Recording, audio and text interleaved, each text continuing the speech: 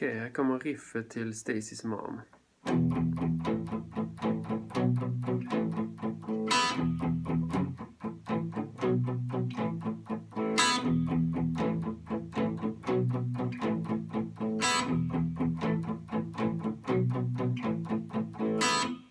Okej, vad är det som händer då?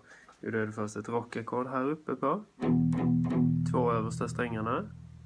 Sen hoppar man ner hit, en våning ner, A-strängen och D-strängen. Och då är det först tre slag på första.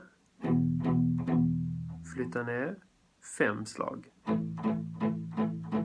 Så en, två, tre, en, två, tre, fyra, fem. Sen flytta till ett B-rockackord. Då är det alltså A-strängen, andra bandet, D-strängen, fjärde bandet. Tre slag på den. En, två, tre. Flytta ner till ett A-rockackord.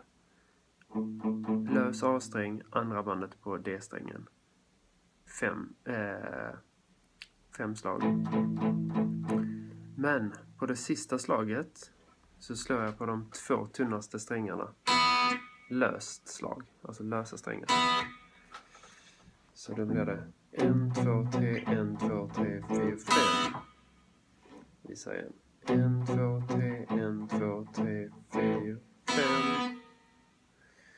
Hela grejen blir då en, två, tre, en, två, tre, fyra, fem. En, två, tre, en, två, tre, fyra, fem.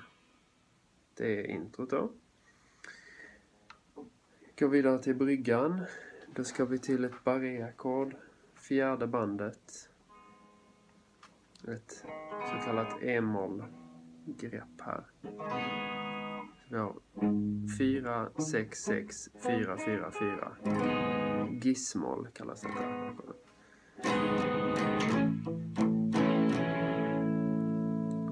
Då går vi från gissmoll till A.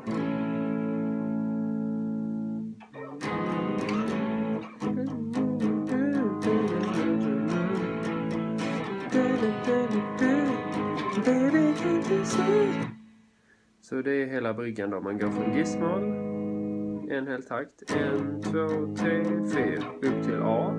Lägga på långfingret där, alltså ni ser, där. Tillbaka igen. Det är hela bryggan. Sen kommer refrängen. Okej, då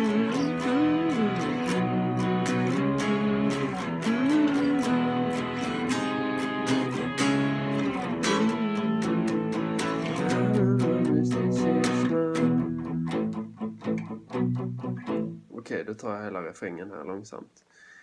Då börjar vi på ett A, femte bandet på från översta strängen. 5, 7, 7, 6, 5, 5. Kan ni se att jag håller kvar de här tre fingrarna när jag flyttar ner till ett E som är andra ackordet. Det är bara för att det ska gå snabbt att byta så kan man hålla kvar de fingrarna så. Sen flyttar jag upp till ett B-ackord. Nu är det här på sjunde bandet, samma grepp alltså. Och sen till ett cis-moll.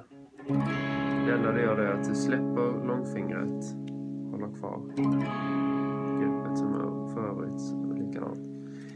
Så då blir det A, E, B,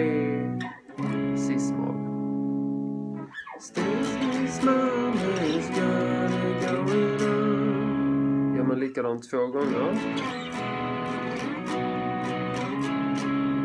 Tredje gången blir det lite annorlunda. Man börjar likadant. A till E.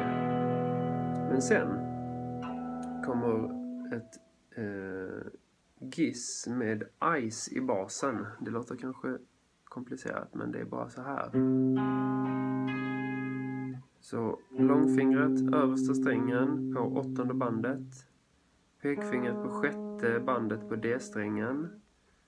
Ringfingret åttonde bandet på G-strängen. Lillfingret nionde bandet på B-strängen. Alltså långfingret, den ska låta så, åttonde bandet. Pekfingret, D-strängen, låter så.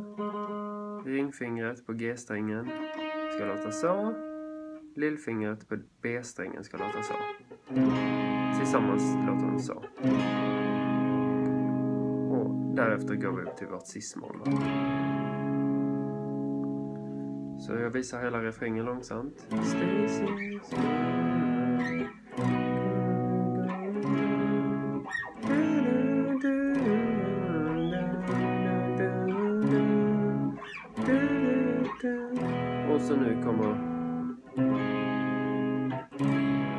Då går vi till A.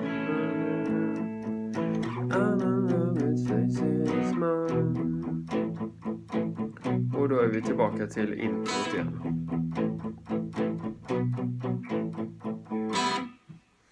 Och eh, sen på andra versen då kommer ytterligare en gitarr in. Som låter så här.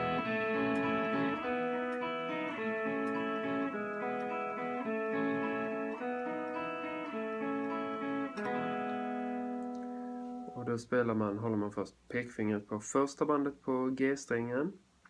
Spelar lös sträng på B och E-strängen. Och så plockar man så här.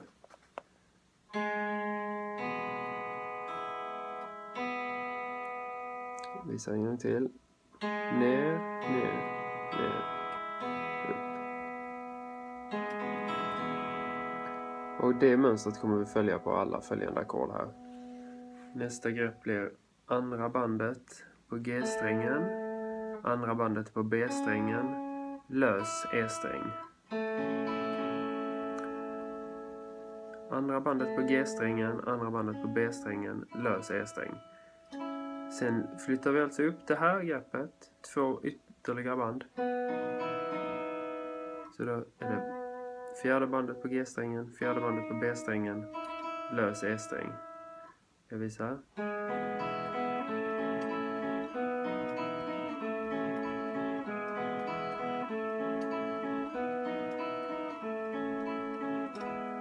Och det är samtidigt som den andra gitarren spelar vanlig bas.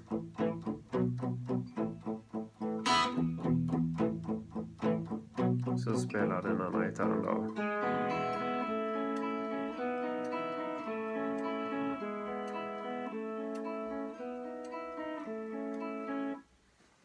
Okay.